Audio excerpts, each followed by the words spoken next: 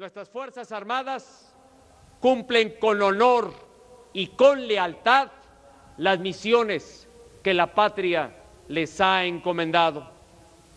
Con valor y determinación han estado invariablemente al lado de los mexicanos para mantener el orden y la seguridad interior, para dar tranquilidad a las familias amenazadas por el crimen organizado.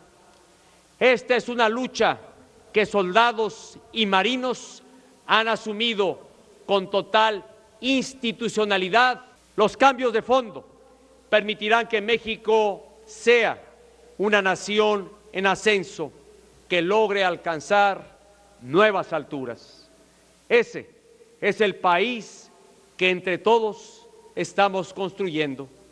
Esa es la nación valiente y decidida a la que defienden y a la que sirven nuestras Fuerzas Armadas.